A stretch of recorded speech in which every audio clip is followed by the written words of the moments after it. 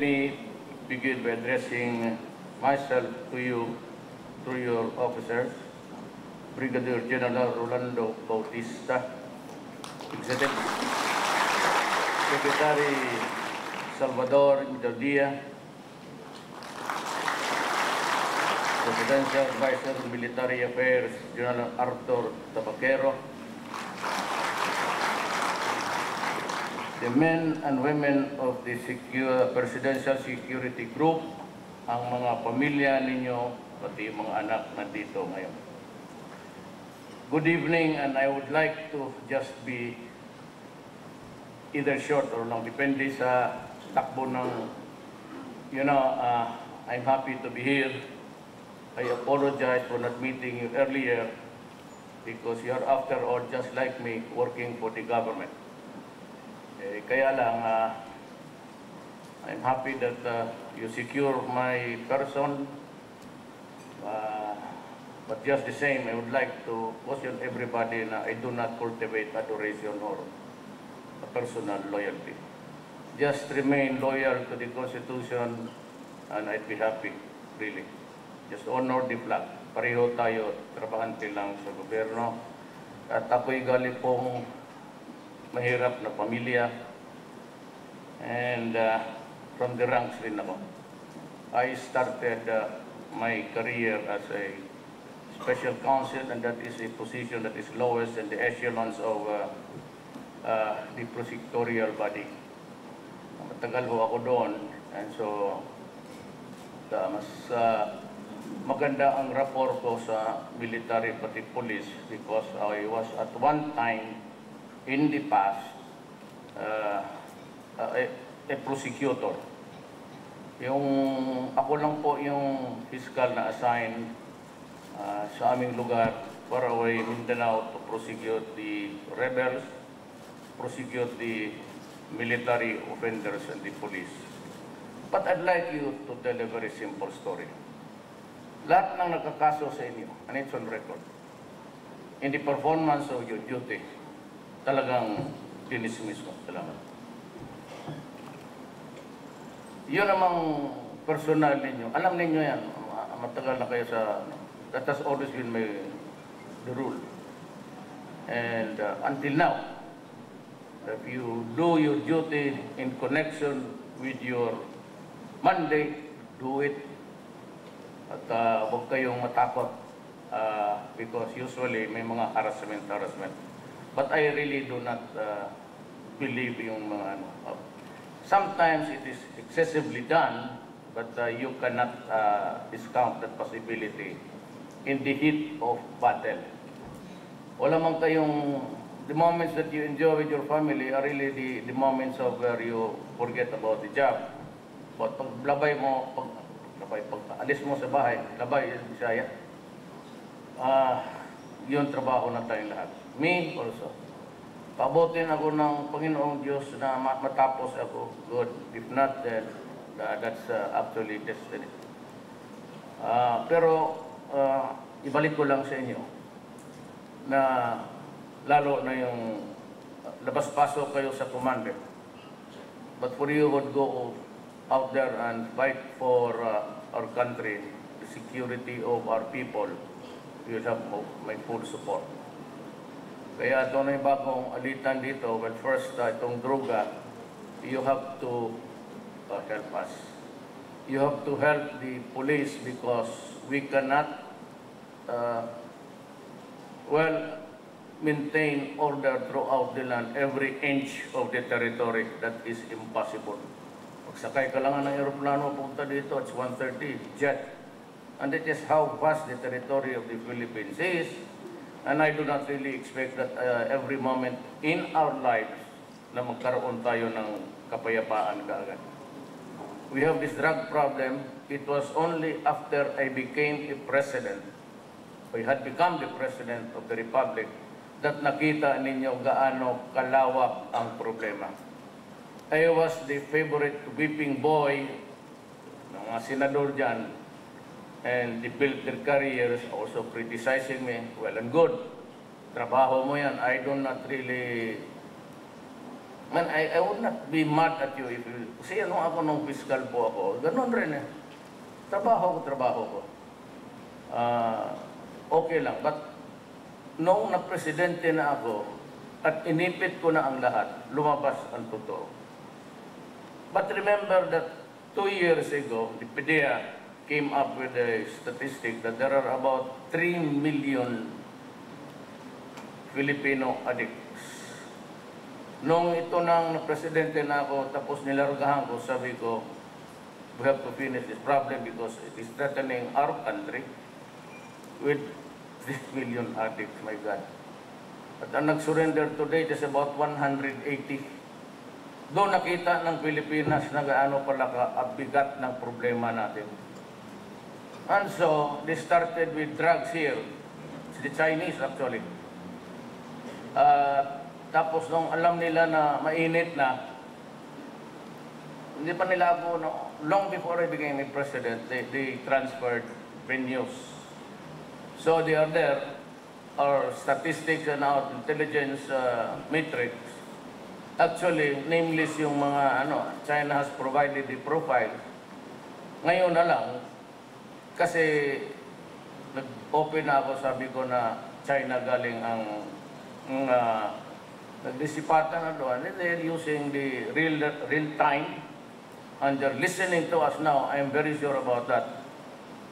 Lalo na yung Chinese military. But I hope they would have the good sense really of, uh, ano ba ito? Are you there, papa, leaving it that way para magulo ang bayan ko? Are you into it or uh, tulungan ninyo kami? Kasi alam nila yan. Alam nga natin na ganito lang tayo kapobre sa ating technical know-how. Lalo na sila. And besides, nandyan sila sa bayan nila. Sabi ko, dito, mga yung sabi ng mga kolumnista, yung mga bright-bright yan, where's the big fish? Well, I'm sorry to say to you that the big fish is in China. If you want get an international warrant, I'll go there and arrest the idiots. But until now, wala talaga tayong magawa. But I have to destroy the apparatus. Eh, nakagano na yan eh. At kung hindi ko ubusin dito, the supply and the demand, wala talagang mangyari. At ako hindi ako nagpapayabang. It oh, another nanalo, maghirapan ako. Mahirapan ang Pilipinas. Kung iba ang nanalo, hindi ako magyabang. But Davao, City is like that because ganun talaga. You go out of my city or kill you. Period. Why? Because you're destroying my country. You're destroying the young of this. Ang mga anak natin, di na makalabas, takot. Pagsakay sa jeep, may hood upper. Tapos yung iba, pati, why do you think that I won by landslide sa labas ng mga boto? It's because of insecurity. Na yung gamit nila ng pera, pinaghirapan nila sa loob. Malulong sa droga ang anak. That's a, it, it, that's a family dysfunction, by the way. Kaya nakakaawa eh. You, the mother is there. Dito ang tatay, walang asawa. And even by biology, magkagulo talaga ang pamilya. O yung, yung iba, dalawang nanay pati tatay. You just imagine the dysfunction of the family. Maawa ka sa Pilipino. Padre, hindi ako komunista. Pero may dim- dimension sa buhay ko, socialism ako. Kasi anak lang ako ng gulo. Nakatikim ako ng, na kami. Like I can remember 1956, na-demolish yung bahay namin sa Davao. When my, thought, my father thought that it was a wetland.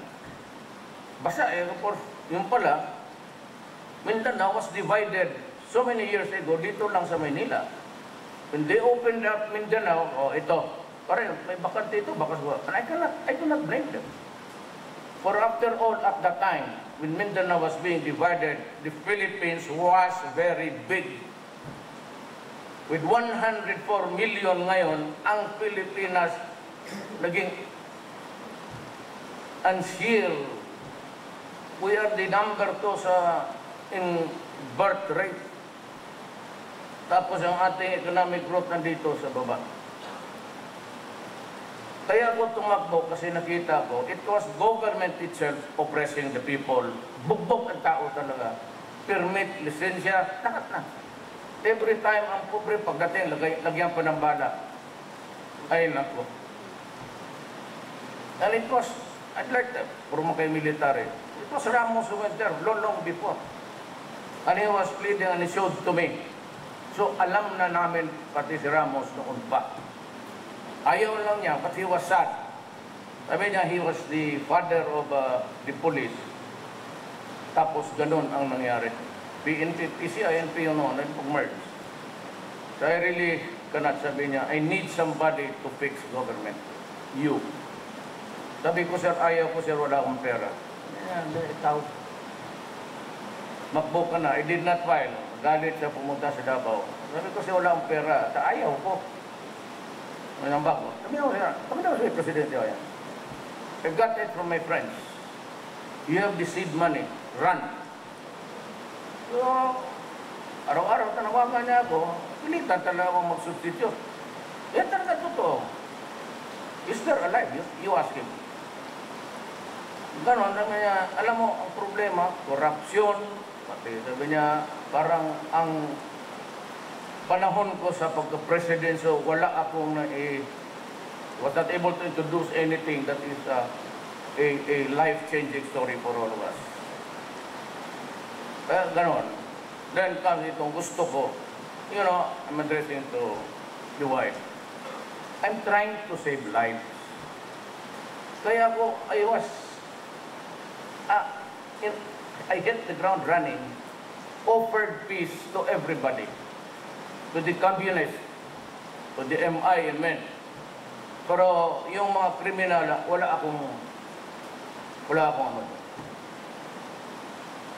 I cannot uh, go into itong Abu Sayyaf. Those are the enemies that has, enemies that have to be destroyed. That, talagang, you have to just destroy them. Pero for the sake of peace and save life, so we're spending billions, and I hate to, you know, sign a paper ng mayor ako to buy bullets just to kill a Filipino. Ito ng mga komunista, kaibigan kami. I am, they are socialist, but they are Communist Party of the Philippines. I am just socialist in my dimension kasi anak ako ng mahirap. Uh, I hate government and anyone oppressing the people. Tanimbala, yung mahirap, yung walang hindi malakas. E samantala naman kaming mga mayor, mga general, mga cabinet members, your wave of Maski magdala ka ng isang toneladang diamante dyan, o brilyante, bali wala yan, sir. Well, that is the kind of government that really eats into the core of our essence as a Philippine. Sa panahon ko, it will be clean. Gano'n yan. Talagang Congress, sinabi ko sa kanila, ayaw ng tao for barrel. You go into it, ayawan ko kung anong mangyari. Do not tempt the, the gods. Kasi ako may droga, corruption. Do not I mean, as far as I'd like to, gusto ko yung I operate within the law. Pero itong mga durugista, wala na. Itong corruption, paski saan? Lisensya, hanggang wala pa. Plate, wala pa. Bayad na yan, ha? Two years ago, three years ago. Ano klase? Ang, ang pobre magpunta ng clearance, bigay pa. Tapos yung ano, pabalik-balik, wala dyan ng chief of office. Kaya ko, eh, andun dito sa executive department, hindi ko kasi kontrolado yung congress pati judiciary. Dito sa akin, pag wala ka dyan sa opisina mo, I will just dismissal. Ano yung illegal, pahala na. Basta punta ka ng korte kung gusto mo. Eh kung wala ka lang dyan, the I'm warning everybody, I'd, be, I'd repeat the warning tomorrow. Na kung binayaran ka for 8 hours, do not shortchange the Filipino. So kung magtrabaho ko lang dyan, karamihan na after uh, di, uh, lunch break, hindi na bumabalik. kanood ng sine, small. So, ang bayad namin, good for 8 hours, then you only report for 3 to 4 hours. That's swindling, actually. You're swindling the Filipino people of their money. You are paid with a certain amount on certain hour. Di magtrabaho kayo. And uh, apparently wala pa, pati itong contractualization. Itong mga kumpanya, sabi ni Secretary Bebot Bilio kanina sa ANC, uh, he would be uh, employing more men to uh, inspect, uh, inspect and uh, see the records. Kung ganon, walang mangyari dito. We do not have the warm bodies to go there and check. And, you know, it will result in corruption again. Wala ako dyan eh. Wala tayo. Sabihin lang na papel, inspector, lagay mo lang dyan, tapos bigyan. So I cannot have accurate I know how the system operates. Matagal ako sa gobyerno isali mo, that's 40 years. Kasi pag kayong prosecutor ko, siguro 10 years. Tapos bulahin mga gobyerno. Kaya ako bukas magdaan. Sundin ninyo ang batas na wala na akong inspeksyon o sarahan ko kayo. Mamili kayo. Wala nang inspection, inspection. If there's a violation, I do not need to magsabi lang ang mga trabahante na hanggang ngayon, five, uh, five months sila alit. Magkalitsihan na tayo. I mean, I do not care. Sabi ko nga, in this presidency, pinupusta ko and putting at stake, at stake, my honor, my life, and the presidency itself. I will have to use your pumps. Kasi it's only the military who has a vast reservation dito sa mga lupa-lupa. I'm just asking for about one hectare of your camp. Total, siramahan ko naman ng 5 yan. I will build itong mga rehab kasi itong mga 3 million, babalik yan doon sa industries, magpo-hold up na naman. Magpatay ng tao because they need the fix for the day. Nakita mo ngayon, medyo bumaba ang krimen kasi takot lahat. I'd like to remind you again that uh, this is, uh, hindi naman ako naman ako, ano nga kayong commander-in-chief. Ako nga, pati ako nakatulala nga ng commander-in-chief. Mischievous ka. Ako, I, I will be with you, I will support you, at you will have everything that you would need to destroy the enemy. Yung si Kerry nag-usap kami uh, human rights. I have a job to do. Let us go to another topic. Give me money. Jadi, oh, 32, iniwan siya, I give you 32 million dollars. So, sabi ko kay Delvin Lorenzana, ano ang priority mo?